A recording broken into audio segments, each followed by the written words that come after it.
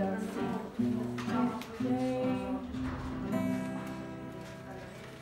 Beverley and I'm the music therapist here at St Oswald's and today Darcie and I have been making some Christmas music, haven't we? Yes! Yeah! Now, we just want to say a massive thank you to all your support because without your help and your donations this wouldn't be possible, so thank you very much. Yeah, yeah.